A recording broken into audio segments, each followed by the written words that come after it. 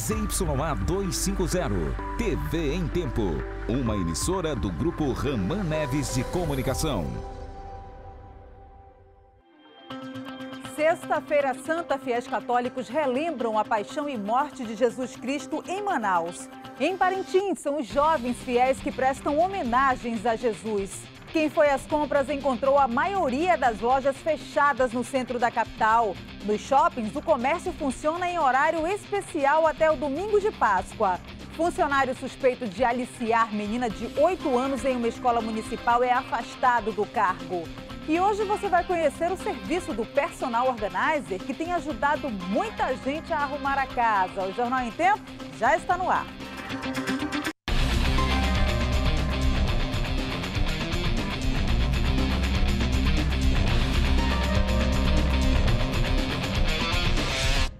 Olá, boa noite. Nesta sexta-feira da Paixão, os fiéis católicos participaram da tradicional procissão da Via Sacra, que relembra o sofrimento de Jesus até a morte na cruz. Logo no início da manhã desta sexta-feira santa, em frente à Igreja da Matriz, mais de 2 mil fiéis. Eles participaram da procissão da Via Sacra, que relembra a trajetória de Jesus Cristo carregando a cruz pelas 14 estações até a morte. Nós queremos tirar essa concepção da Via Sacra como espetáculo para se ver. Nós refletimos as dores de Jesus, o sofrimento de Jesus, à luz do sofrimento do povo. A primeira estação mostrou o momento em que Jesus foi preso e condenado à morte. Durante a caminhada, os soldados judeus chicoteavam Jesus Cristo o tempo todo. Emocionados, os fiéis rezavam, agradecendo o sacrifício. Que ele é, pagou todos os nossos pecados, tá entendendo? Na cruz, né? Este é um dos principais momentos da caminhada, a quarta estação, quando Jesus encontra sua mãe, Virgem Maria. E significadores do, do mundo todo. E, e, e, a dor de cada um, ela é, entrega seu filho. A procissão durou cerca de uma hora e meia, passando pela morte e sepultamento de Jesus. No fim, os fiéis se concentraram no santuário da Igreja Nossa Senhora de Fátima, na Praça 14, e receberam as bênçãos do arcebispo de Manaus. O sofrimento de Cristo também foi lembrado em Parintins, onde mais de 6 mil jovens participaram da Via Sacra. A Via Sacra do Jovem da Diocese de Parintins, que lembra a caminhada de Jesus rumo ao Calvário para ser crucificado, começou às 7 horas da manhã e percorreu paróquias da Zona Oeste, Zona Sul e Centro da cidade.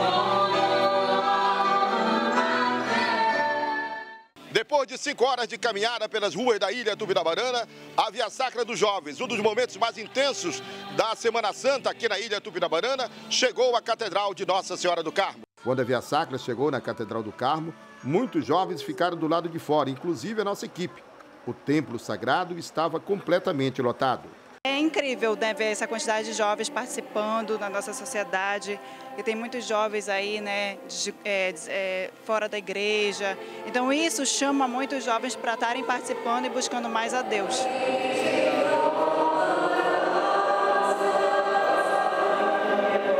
Este ano, a Via Sacra foi coordenada pelo jovem diácono Marcelo Afrânio, que se disse feliz com a expressiva participação dos fiéis. Foi com certeza uma experiência bonita, cada vez, cada ano melhorando e superou tudo aquilo que nós esperávamos, né? até porque houve um trabalho há muito tempo de organização, planejamento.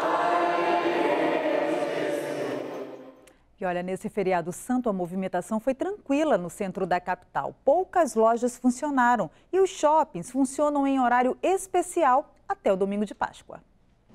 Na Avenida 7 de Setembro, a maioria das lojas estava fechada. Na rua Guilherme Moreira, a situação se repetiu. Esta loja de roupas foi uma das únicas a abrir. Fizemos uma reunião e vimos que seria algo bom a se fazer, né? Até porque aqui perto na Eduardo tem a feira, né? Aí, consequentemente, o público vem e a gente acaba tirando aquele cascalhinho, né? Vendendo mais. Oh, lógico. Pelo visto, deu certo. Este assistente administrativo aproveitou a movimentação tranquila do feriado para fazer compras.